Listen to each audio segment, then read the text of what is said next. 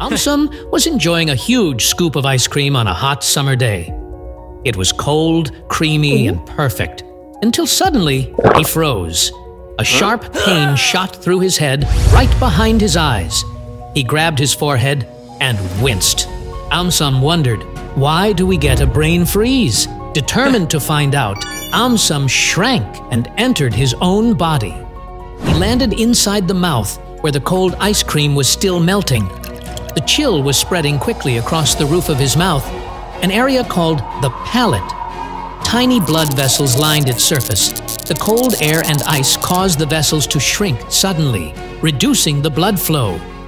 But as soon as the cold began to fade, the vessels widened again.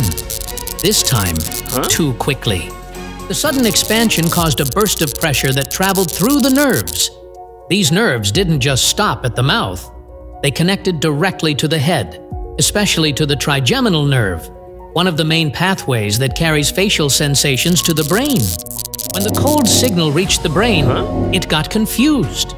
The brain couldn't tell whether the pain was coming from the mouth or the head, so it interpreted it as pain inside the forehead. That ah! was the sudden stabbing pain known as a brain freeze. Leaping back outside, AumSum smiled proudly.